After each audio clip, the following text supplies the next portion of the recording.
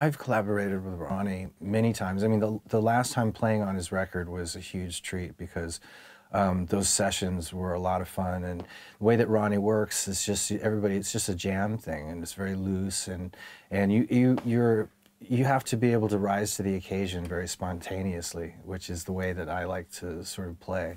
And uh, it was a great learning experience, but as as well as just a lot of fun. But I also I, I did uh, a tour with Ronnie for one of his other solo records, where we did a UK tour, which was really great. Um, and Ronnie's come up and jammed with Guns N' Roses back in the day, and you know I've just I've jammed with Ronnie many many times.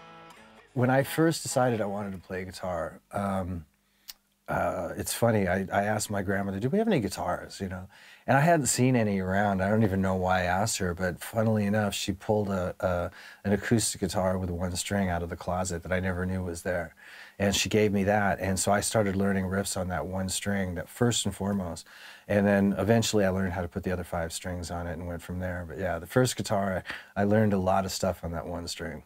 If I if I go a week without playing it, I'm, I'm convinced I've forgotten and I'm I'm I'm very insecure about my guitar playing as it is, so I keep one around at all times, and I'm constantly playing.